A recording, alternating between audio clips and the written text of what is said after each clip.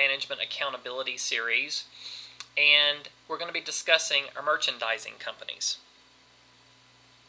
So the first thing we want to look at here is the income statement for a merchandising company. Now remember, a merchandiser is a little bit different from a service company, whereas a service company produces a service or sells a service, a merchandising company sells a product. They do not produce a product, they simply sell a product that they purchased from a wholesaler or someone else. Also remember that GAAP states inventory is an asset until it is sold. Then it is expensed as cost of goods sold. So link that back to your matching principle that says we match expenses with the revenues those expenses created. So let's look at our merchandising company income statement. First off, we have sales revenue, unlike a service company that has service revenue. Here we're selling a product, so it's called sales revenue. Now from sales revenue, we're going to have two new accounts. One is called sales returns and allowances. One is called sales discounts. Both of these accounts are called contra revenue accounts. Now think about revenues. They carry a credit balance. Contra revenues will be the opposite. They will carry debit balances and they will effectively reduce the net revenues. So from sales, we're going to subtract those contra revenue accounts to get our net sales revenue.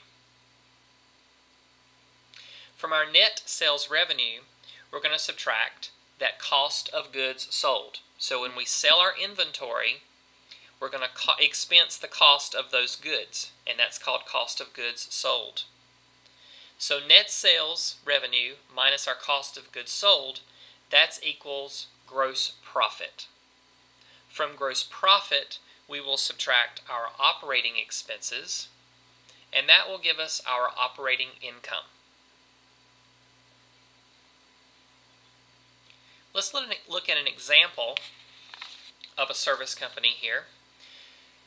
So we're going to use the following information of a retail merchandiser to compute the cost of goods sold. So we're not producing an income statement yet, we're just trying to compute the cost of goods sold. Now what I always like to do here is create my T account. But before we get started, let's look at two things in the list over here that sometimes give problems. We have delivery expense and we have freight in. These are not the same thing. A delivery expense, as it sounds, is an expense. It's a selling expense. It's when the seller ships the good to the buyer. Therefore, it's an expense to the seller.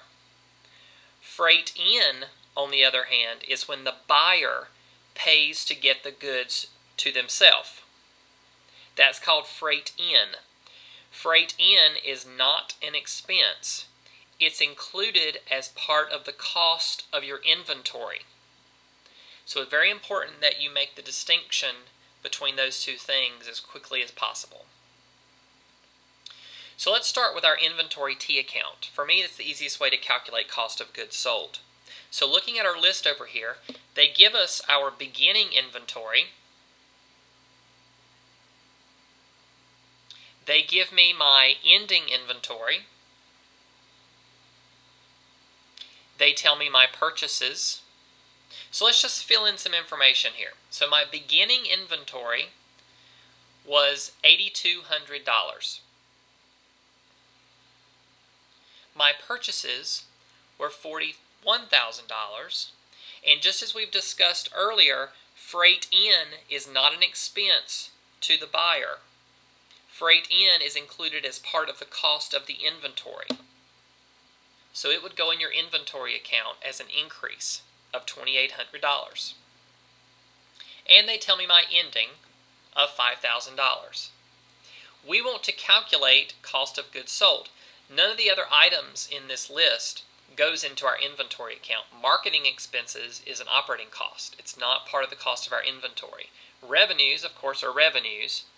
Delivery expense is another operating cost and website maintenance would also be an operating cost.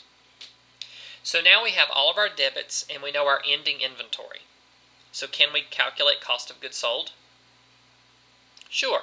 We take all of our debits, 8200 plus 41,000 plus 2800, add those up, subtract your ending of $5,000, and that will give you your cost of goods sold of $47,000. Let's move on to a more comprehensive example. So here we're going to use this information to prepare an income statement.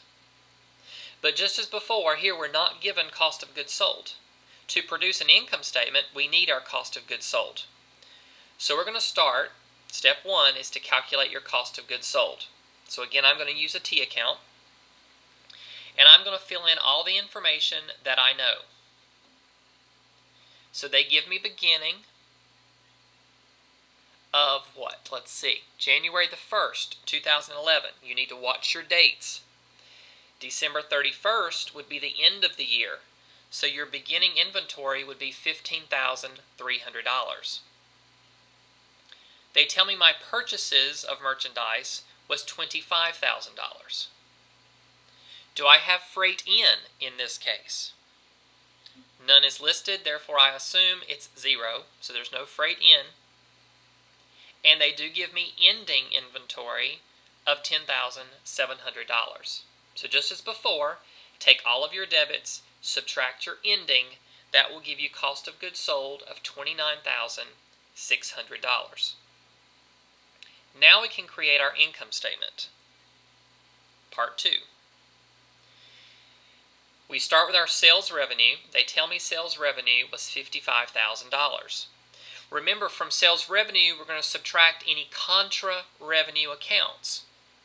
Sales discounts, sales returns, and allowances. In this case, we do not have any of those.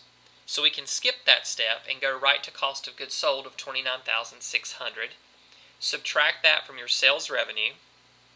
That will give you gross profit of $25,400. From gross profit, you'll subtract all of your operating expenses, utilities, rent, and sales commissions listed above, and you will end up with operating income of $15,050.